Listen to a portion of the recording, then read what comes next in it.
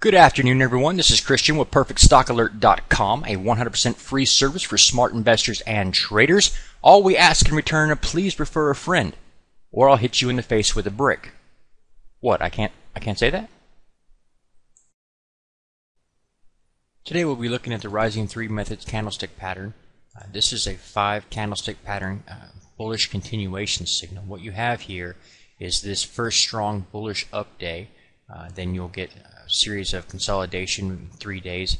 Uh, this example here shows three filled candlesticks, but you could have easily, just as easily had um, two filled and one hollow, or, or you know whatever combination you like, as long as all three of these consolidation days are smaller candlesticks than the first, and they all trade within the range of the first. In other words, from the opening uh, price of this first uh, candlestick and the closing price of this first candlestick, all three of those following candlesticks trade within that range. Nobody breaks out one way or the other.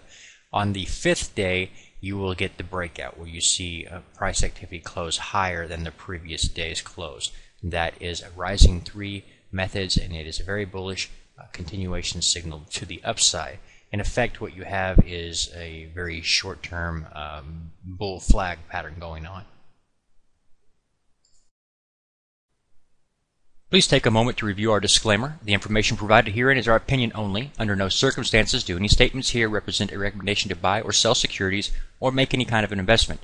You are responsible for your own due diligence. To summarize, we do not provide investment advice, nor do we make any claims or promises that any information here will lead to a profit, loss, or any other result. These videos are for educational purposes only.